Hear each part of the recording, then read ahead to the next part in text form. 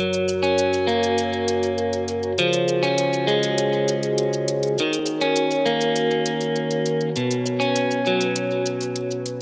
my name is Steve Bourne, Senior Applications Engineer at Superior Essex, and today we will be talking about the transparency documentation offered by Superior Essex and how these documents allow our products to contribute toward LEED certification.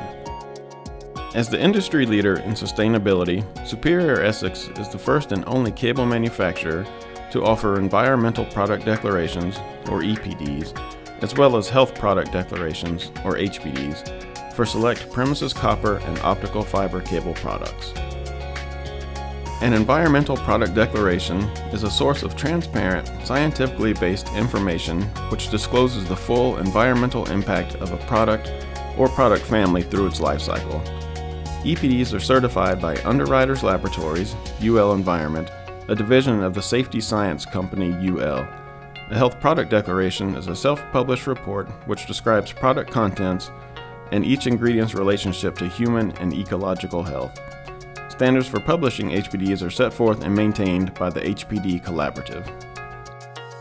Our EPDs and HPDs cover 25 riser and plenum rated premises copper cables and 26 riser and plenum rated premises fiber cables. In addition to providing transparency about our products and practices, these certifications allow our products to contribute toward LEED certification under LEED version 4. LEED, or Leadership in Energy and Environmental Design, is a green building certification program that recognizes best in class building strategies and practices.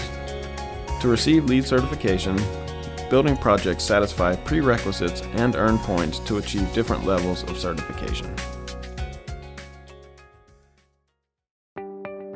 In LEED version 4, communications cables are eligible to contribute toward the Building Product Disclosure and Optimization credit in the Materials and Resources credit category, which falls under the Building Design and Construction Project Rating System.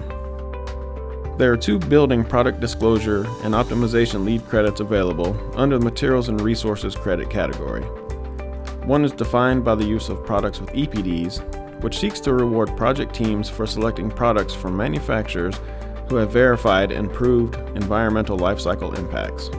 The other building product disclosure and optimization credit is defined by the use of products with HPDs and seeks to reward project teams for selecting products for which the chemical ingredients in the product are inventoried using an accepted methodology for selecting products verified to minimize the use and generation of harmful substances, and to reward raw material manufacturers who produce products verified to have improved life cycle impacts.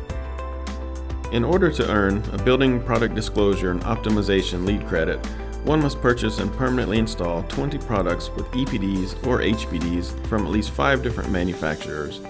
Each manufacturer can contribute a maximum of 5 products toward each building product disclosure and optimization credit. In total, Superior Essex can contribute one fifth of two different LEED credits, one for the purchase and installation of products with EPDs, and another for the purchase and installation of products with HPDs. Using products with EPDs does not contribute towards the same LEED credit as using products with HPDs, nor does using the same product for two different applications contribute toward multiple LEED credits. Each product must contribute toward each credit individually. Note that riser and plenum rated versions of a cable product can contribute individually toward the total number of products acquired from a single manufacturer for building product disclosure and optimization credits.